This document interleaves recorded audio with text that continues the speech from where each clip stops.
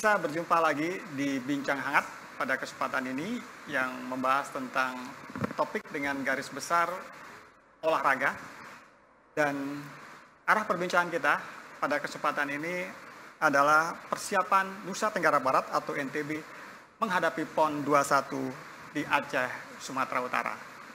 Kita ketahui bersama bahwa Nusa Tenggara Barat di bawah KONI telah mengikuti prapon yang mana terdapat sejumlah cabang olahraga yang telah dinyatakan lulus dan berhak untuk mengikuti PON tahun depan di Aceh dan Sumatera. Seperti apa kemudian persiapan tersebut dan siapa saja atlet yang akan berangkat atau seperti apa kemudian persiapan secara umum.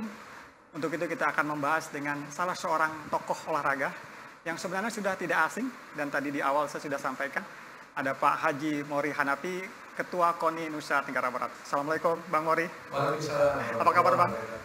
Tos dulu Bang. Sehat Bang Mori ya? Sehat. Lama tidak berjumpa dan Alhamdulillah kali ini bisa bertemu di Bincang Hangat membicarakan tentang olahraga dan persiapan NTB di PON tahun depan ya Bang Mori ya. Iya, iya. Apa kira-kira persiapan yang paling utama Bang?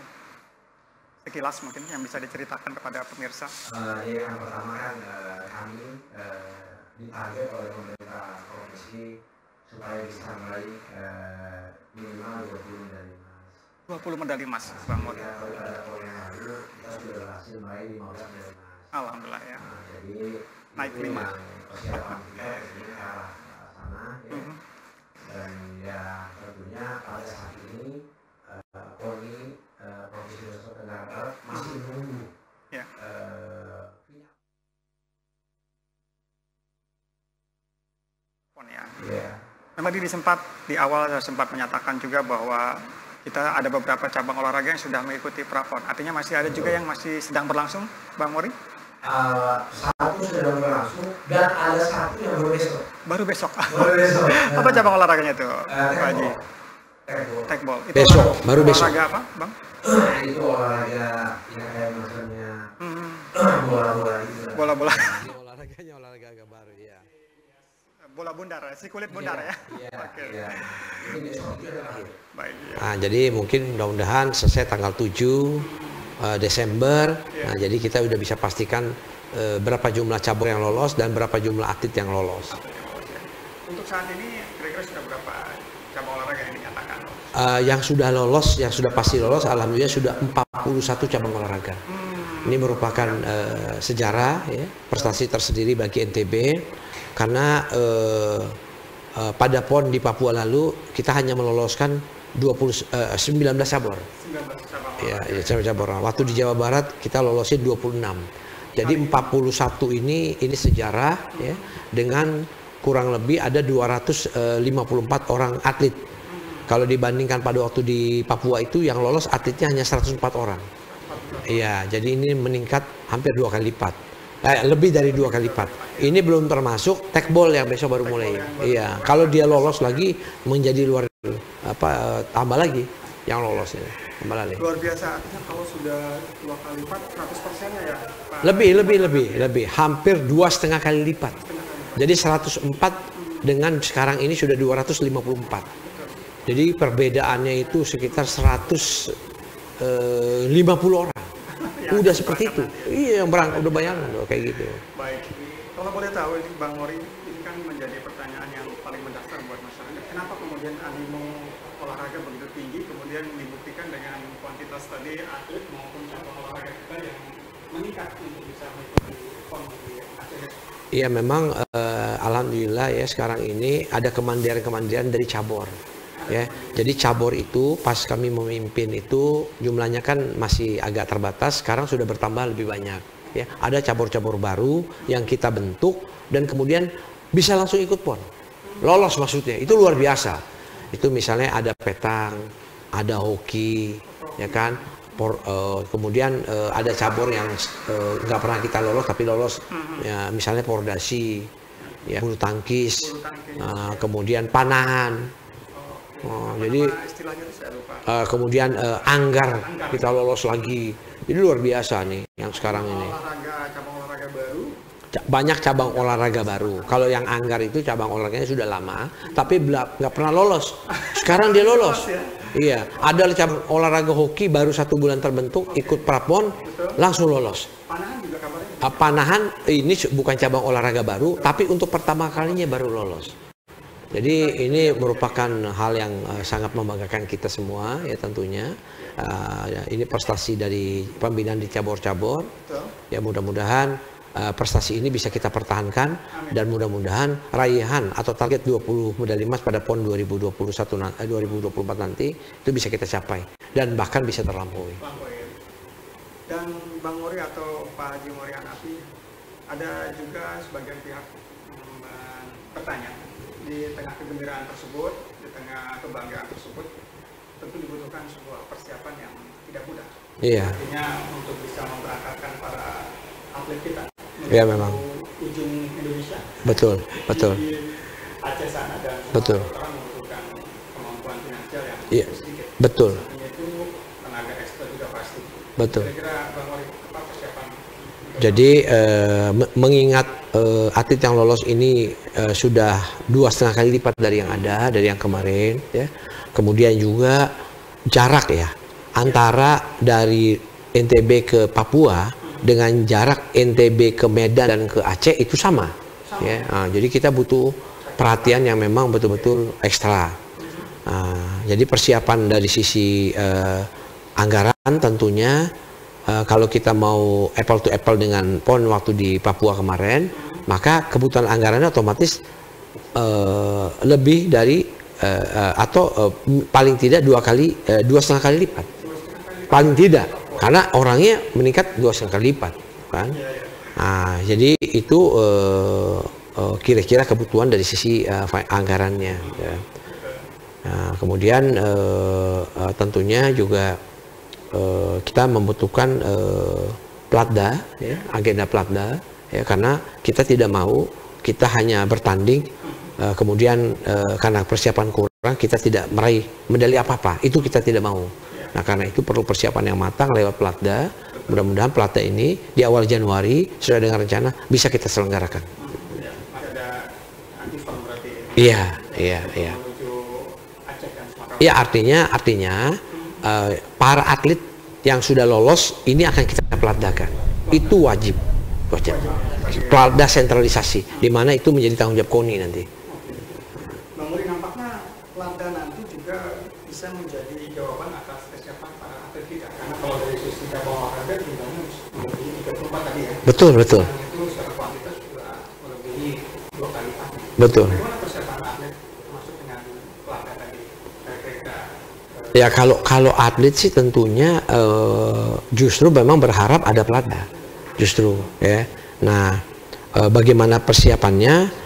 Ini memang saat ini eh, kita belum eh, karena kita masih menunggu dulu finalisasi. Jadi sekarang ini pembinaannya masih ada di cabur-caburnya. Ya, nah mengenai bagaimana persiapan, kami akan segera umumkan pelatda itu dimulai tanggal berapa, insya Allah di awal Januari, sehingga cabur-cabur itu bisa juga membantu kita mempersiapkan atletnya.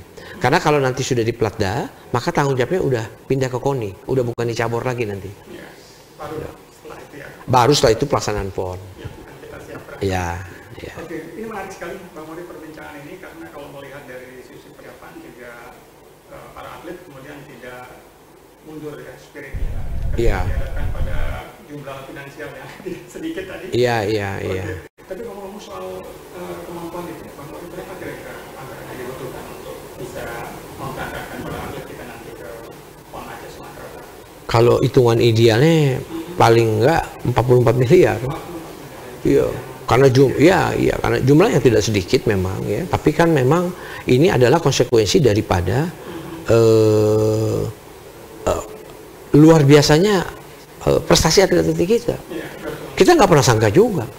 Kita nggak pernah sangka bahwa akan ada sekian banyak cabur gitu dan dan kita harus juga melihat bahwa ini juga sebagai persiapan awal kita dalam menghadapi eh, kita sebagai tuan rumah pada PON tahun 2028 di mana ada kurang lebih 54 cabur yang akan kita pertandingkan dan masih mungkin bertambah menjadi 60 cabur. Nah, itu semua kita harus ikuti nanti. Karena kita tuan rumah. Ada 60 cabur itu kita harus ikuti semua nanti. Nah karena itu persiapan ini ya eh, merupakan langkah yang baik. Ada stepnya. Jadi waktu PON tahun 2019 misalnya ada 9, eh, 2021 ada 19 cabur, tahun 2024 ini ada misalnya 41 atau bahkan bisa 42, maka kalau nanti kita eh, mengikuti katakanlah sampai 60 cabur, kita nggak kaget. Nggak kaget ya. Iya gitu loh, bagus lah, bagus lah malah. Baik. Pemirsa masih dibincangkan bersama saya Agus Santosa dengan narasumber kita Ketua KONI Nusa Tenggara Barat Haji Nuri Hanati dan kita akan melanjutkan perbincangan tidak hanya seputar kemampuan ekstra financial tapi juga ada hal-hal lain yang kita coba ingin gali dari beliau soal dan seperti apa kemudian kelanjutan dari eh, persiapan atlet kita menuju ke Lada dan ke PON dan nantinya ini sudah kebetulan sudah disebutkan juga mengenai PON 2028 yang mana NTB menjadi tuan rumah setelah jeda berikut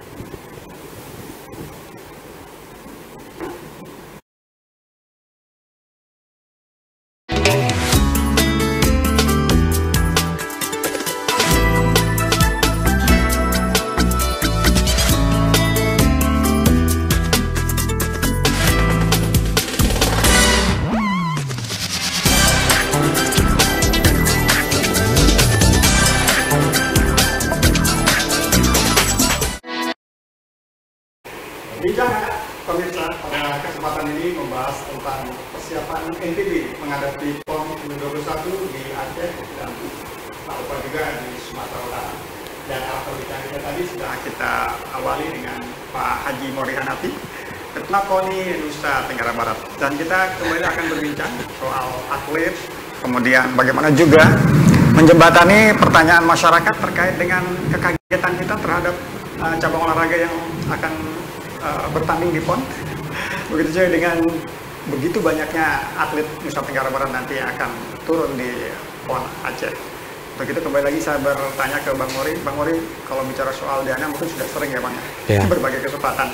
Tapi ada hal yang tidak kalah pentingnya yaitu bagaimana atlet kita kemudian diajak untuk berorientasi lebih jauh lagi.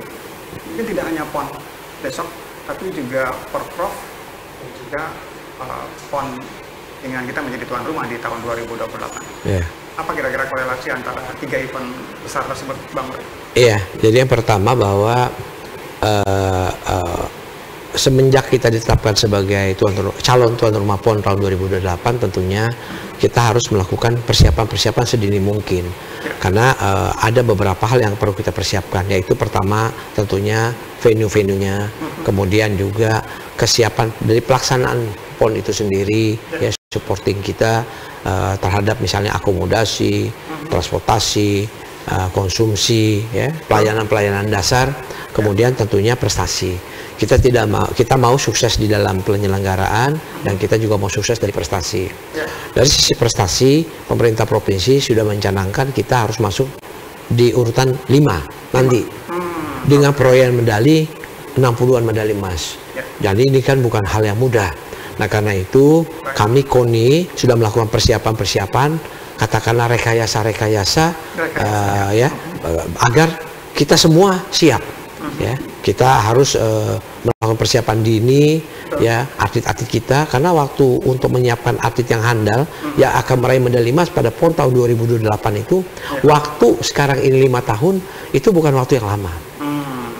Bukan waktu yang Bukan waktu yang lama itu, itu sebentar Sekarang gitu. udah 2023, Iya, sekarang 2003. 2024 ya. Wah, bentar lagi 2000. Artinya udah udah nggak sampai lima tahun.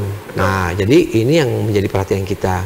Ya. Nah, karena itu eh, eh, kita yang pertama adalah kita lakukan adalah eh, dari cabang-cabang olahraga yang akan dipertandingkan pada tahun 2028 itu, Ya. itu banyak cabur yang nggak ada di NTB. Iya. Dia nggak ada di sini caburnya. Jadi boro-boro ada pelatihnya atau atletnya? Oke. cabang olah eh, cab, eh, organisasinya aja belum ada. Organisasi belum ada juga. belum ada. Nah Oke. misalnya eh, hoki tadi saya sampaikan kuras belum ada. Waktu kita mulai itu belum ada. Kuras belum ada hoki belum ada petang belum ada ya kan? Jadi ada beberapa eh, eh, eh, soft soft tennis Ya, belum ada organisasinya ya nah jadi itu adalah sekarang kita bentuk semua organisasinya kita pastikan ada atletnya pastikan ada pelatihnya kita dorong mereka juga untuk segera juga ikut uh, kompetisi di berbagai tingkatan dan alhamdulillah sebagian daripada cabur-cabur baru ini itu lolos PON bahkan. Bahkan lolos PON. Bahkan lolos PON. Luar biasa. Jadi luar biasa gitu kan. Luar, eh, Di luar ekspektasi. kita eh, sebelumnya ya bang. Ya, di luar kemungkinan kita kita nggak pernah nyangka gitu.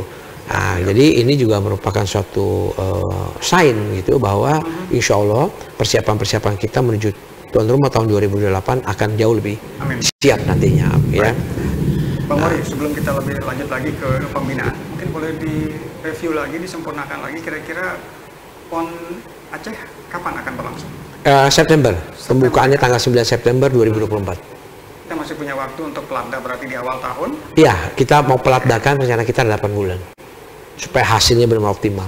Iya. Jadi supaya target 20 medali emas itu bisa kita raih dan bahkan kalau perlu lebih dari 20 medali 20 emas. medali emas. Iya. Baik, boleh tahu Bang olahraga apa saja yang paling saat ini menjadi harapan utama? Yang per, eh, tentunya atletik. Iya. Kita tetap berharap atlet itu bisa menyumbang tetap 6 medali emas. Betul. Di situ kita ada atlet kita lalu Muhammad Zohri, Betul. eh, lari 100 200 meter, kemudian ada Safatur Rahman lompat jauh lompat jangkit, Ya. kemudian ada Dian ya. Yang oke. Nah, dia bisa apa? Bisa eh, sekarang dia nih eh, kita proyeksikan dua medali emas, Eh, yaitu eh, nomor 1500 dan nomor 3000 dan di situ ada eh, ada ada ada atlet kita yang perempuan tuh ya, itu bisa nomor dasar lomba itu juga rohani rohani. Rohani, ya. Nah itu bisa medali emas karena kemarin medali emas dia. Luar biasa. Nama kita- baru nampaknya. Ah, ya, jadi atletik, ada tinju, Tinju. kita berharap tetap dua medali emas. Kempo mudah-mudahan Betul. nambah jadi tiga sekarang. Kemudian eh, eh, tarung derajat yang eh, bisa dua minimal kalau hitungan kami. Ya. Kemudian silat minimal bisa satu, taekwondo bisa satu, eh, karate bisa satu. ya. Nah itu banyak lah. Tapi kalau hitungan kita, ya, motor biasa. cross tuh mudah-mudahan bisa tiga. Menembak mudah-mudahan besok Betul. bisa dapat minimal dua medali emas. Bagi ketua KONI pasti hafal soal hal iya, tersebut. iya, Oke, iya. Bang Mori, bagaimana kemudian event-event tersebut tersambung dengan pembinaan para atlet yang kita ketahui juga itu dilakukan di klub, kemudian di pe- kepengurusan Iya, cabang olahraga, iya. dan juga menjadi milik KONI nantinya ketika multi event seperti Multi event, iya. Bagaimana Bang eh, pembinaan para atlet kita? Jadi eh, memang kalau untuk cabur-cabur yang sudah lama dan yang sudah biasa berprestasi, atau istilah kita cabur unggulan, Betul. itu memang mereka cenderung sudah mapan. Ya mereka punya jenjang latihan yang bertingkat, Ya. ya. Ah, nanti eh, proses seleksi yang juga baik, ya dengan jenjang-jenjang eh, kompetisi mereka, eh, sehingga kita tidak khawatir. Memang yang jadi perhatian kita sekarang adalah Ya. eh, terhadap cabang-cabang olahraga yang eh, belum atau kurang mapan ya, utamanya yang baru-baru yang langsung udah lolos. Nah ini juga perlu perhatian khusus ya, sehingga eh, mereka tahapan-tahapan pembin- pembinaan baik dari klub kemudian cabur dan sampai ke koninya itu bisa berjalan dengan baik. Nah, tapi sekali lagi ini nggak mudah, gitu ya. Karena banyak-banyak eh, di banyak eh, tempat eh, di cabur-cabur baru ini Ya. belum punya Bang, ya, sarana, eh, bukan bukan cuma sarana-sarana, tapi cabang yang ada di kabupaten kota juga belum terbentuk. Belum terbentuk Padahal itu sangat kita butuhkan. untuk mencari potensi Iya, atlet. jadi ya. kita udah sampaikan juga Oke. kepada eh, kabupaten kota untuk Ya. mengikuti provinsi.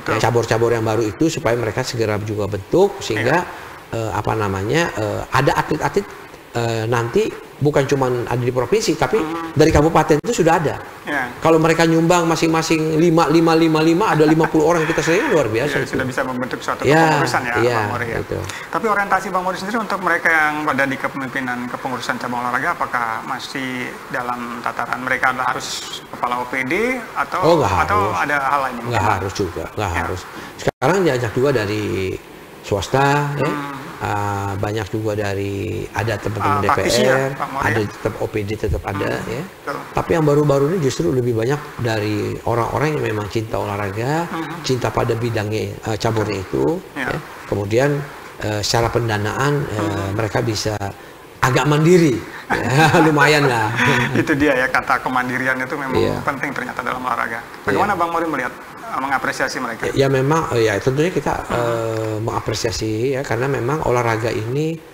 eh, butuh eh, dana yang tidak Betul. sedikit. Dan ya. kadang kan mereka juga ini Bang ya harus terpaksa mengeluarkan dana pribadi ya. Betul, betul. itu betul, bukan jadi rahasia Betul, betul. umum lagi sudah diketahui Betul, oleh betul. banyak orang ya. Betul. Nah itu juga persoalan. Jadi memang eh, apalagi olahraga berprestasi ini Betul. memang butuh dana yang tidak sedikit. Karena selain latihan yang harus kontinu, tidak boleh berhenti, mereka juga harus eh, exercise mengikuti kejuaraan-kejuaraan, baik ke Jurda, ke Jurnas, ke tingkat-tingkat lain sehingga mereka punya pengalaman yang bagus. Kalau enggak, enggak ada ukurannya. Sulit ya bang. Iya, Artinya sulit, ya. sehingga banyak orang mengatakan bahwa mereka yang menjadi kepengurusan di olahraga orang-orang yang tanda kutip memang punya fashion dan mau berkorban. Betul, betul, Bang. betul, betul, betul. Betul ya, Bang? Kalau enggak berat, berat. Oke. Karena emang olahraga prestasi itu ya agak mahal. Mahal. agak ya. mahal. Emang nggak mahal-mahal, tapi Iya, iya. mahal. Ya. Baik. Tapi di balik itu, Bang, eh, banyak kalangan juga menilai bahwa olahraga bisa membawa daerah ini kepada hal-hal yang sifatnya popularitas, kemudian juga bahkan tidak menutup kemungkinan membawa eh, nama baik negara. Bagaimana Bang Mori memberikan apresiasi juga para atlet maupun mungkin hadiah atau seperti apa? Iya, kalau hadiah itu kan memang udah ada ya. Mm-hmm. Utamanya kalau di eh, kejuaraan yang mereka ikuti di tingkat eh, nasional. Hmm. Kalau di tingkat daerah kan porprov itu tanggung jawab kabupaten kota. Ya. Kalau di tingkat nasional itu memang itu yang menyangkut dengan pon. Ya. Kalau kejurnas, Mm-hmm. ya misalnya ada kejurnas karate, nah kemudian atletnya menang, nah Ya. itu menjadi tanggung jawab cabur. Cabang olahraga. Kalau kalau kejurnas, nah, jadi gitu Ya. kira. Oke, jadi begitu, begitu cara kita memberikan Iya, eh, kalau multi apresiasi. event KONI. KONI, ya. Nah, kalau uh, single event, Aha. nah itu cabur tanggung jawab. Nah, Baik, Bang Mori, kita bicara soal olahraga juga bicara soal tren. Artinya masyarakat muda kita saat ini sangat menyukai olahraga sebagai bagian dari hidup. Ya. Yang mungkin berbeda dengan generasi sebelumnya atau generasi saya, Iya, betul. yang mungkin belum uh, tumbuh di internet yang belum stabil. Tapi ketika anak-anak sudah meng- mengakses informasi tanpa batas, mereka ada kecenderungan untuk hidup sehat. Iya. Bahkan menghindari makanan-makanan yang katakanlah rendah uh, kalau apa tinggi glukosa dan sebagainya. Ini kan satu hal yang baik, Bang Mori. Iya. Bagaimana Bang Mori melihat uh, tren tersebut? Ya memang eh, kita lihat ya olahraga ini Hmm. eh, pertama eh, dari sisi eh, atlet ya atlet ya atlet ya, itu itu kan mereka menjaga pola hidup eh, dan pola makan. Iya. Pola hidup yang kami maksud adalah mereka eh, cenderung jarang untuk begadang ya. Ah, oke. Kemudian Jadi, disiplin, eh, pagi mereka cukup tuh ya. istirahat harus cukup, Betul. ya. olahraga yang teratur, pagi siangnya ada ukur ada hitungan itu pagi sore, ya. Kan? Makan juga teratur. Mereka tidak bisa makan sembarangan. Betul. Tidak boleh makan banyak karbo, tidak boleh banyak goreng-goreng dan sebagainya. Ya. Nah, pola-pola ini memang menarik untuk diikuti oleh masyarakat secara umum. Mhm. Ya, karena memang Oke. hidupnya jauh lebih sehat. Dan ini merupakan kans buat uh, Bang Mori dalam berbagai kesempatan bahwa kita justru akan lebih mudah lagi mencari atlet-atlet muda kita. Iya. Ditambah dengan dukungan para orang tua yang tidak sedikit sekarang tidak ragu-ragu lagi menyekolahkan anak mereka uh, mengikuti mendorong anak-anak mereka untuk mengikuti berbagai kejuaraan. Betul. Ini kan bagi Koni sebuah anugerah, Bang. Betul, betul, Bagaimana betul. Bang Mori melihat betul. Itu memang benar. Jadi sekarang eh, eh, banyak cabur Mhm. yang eh, memperlombakan eh, pertandingan usia dini. Nah, Ya mulai dia, lah, ya. eh, misalnya atletik itu lari dari umur 2 tahun, dua tahun umur tiga tahun, umur ya udah Masih tuh. masih taman anak-anak ya? Sampai SD misalnya mereka adakan Menarik itu. ya. Itu sudah beberapa kali. Oke. Nah, kita adakan itu. Artinya Mhm. ini eh, eh, secara dini mereka sudah lakukan perkenalan ya Iya. untuk olahraga ini. Betul. Ya mudah-mudahan eh, nanti di antara sekian banyak yang ikut itu Mhm. ada yang memang eh, ketemu bakat yang bagus. Bagus ya. Iya, Oke. ketemu bakat kita kan nggak pernah tahu. olahraga renang Iya. bisa jadi ya ya? olahraga renang juga Betul. ya. Olahraga atletik ya. Kemudian bola tuh ada SSB yang dari umur 4 5 tahun. Nah, itu artinya seperti Iya, itu ya, seperti itu tren sekarang. yang berkembang ya, Iya, oke. iya. Artinya Bang Mori ini juga terkorelasi nanti dengan jenjang pembinaan atlet pelajar Pasti, ya? pasti, pasti, Oke, pasti. PPLP. Kalau semakin banyak kita punya bibit, maka semakin bagus, eh, semakin eh, mudah kita mau seleksi. Ya. Nah, itu. Oke. Kita meminta pendapat akhir dari Bang Mori terkait dengan topik ini yang menggarisbawahi tentang persiapan NTB menuju PON 21 Aceh, Sumatera Utara. Apa yang menjadi pesan Bang Mori sendiri? Ya, yang pertama kami mohon doa dan restu ya pada saat ini sudah ada 41 cabur yang lolos PON. Ah, mungkin masih bisa bertambah satu cabur terakhir. Ya. Ah, ini suatu sejarah bagi kita. Kami mohon doa dan restu dari seluruh masyarakat agar target 20 medali emas ini bisa terlampaui. Bukan cuma target, bisa terlampaui. Bisa terlampaui ya. Bisa terlampaui. Kemudian juga kami mohon agar eh, eh, eh, semua dari kita juga untuk memberikan semangat. Ah, ca- gimana caranya? Memberi semangat dengan eh, mengikuti sosmed-sosmed daripada adik-adik kita, Ya. cabur-cabur, koni, ya, paling nggak tag, like, komen, ya. Nah, Berikan itu bisa, komentar, iya, beri komentar itu juga bisa memberikan semangat tersendiri bagi atlet kita. Ya, Baik. insya Allah eh, Amin, kita ya. bisa betul-betul meraih prestasi yang optimal. Saat ini sekali lagi saya mengatakan bahwa NTB saat ini Hmm. posisi olahraganya itu udah menjadi 10 besar nasional. 10 besar nasional 10 ini besar nasional. menjadi Jadi ini yang perlu kita jaga. ada 10 juara dunia di sini Bang ya. Ya makanya. Bahkan lebih ya. Amin amin. Oke baik, Bang Mori terima kasih sudah hadir Oke. di Bincang Hangat pada kesempatan ini. Mudah-mudahan bisa kita sambung lagi di Iya. kesempatan berbeda Bang. Mungkin forum ini masih terlalu sempit. Insya Allah nanti kita bisa sambung lagi di forum Baik. yang lebih Baik. luas lagi. Terima Oke. kasih Bang Mori sekali lagi tos. Dan pemirsa demikian Bincang Hangat dengan Ketua KONI Nusa Tenggara Barat Haji Mori Hanafi. Saya Agus Santosa. Terima kasih. Sampai jumpa. Assalamualaikum warahmatullahi wabarakatuh. Waalaikumsalam warahmatullahi wabarakatuh. Aduh. Terima kasih Bang Mori.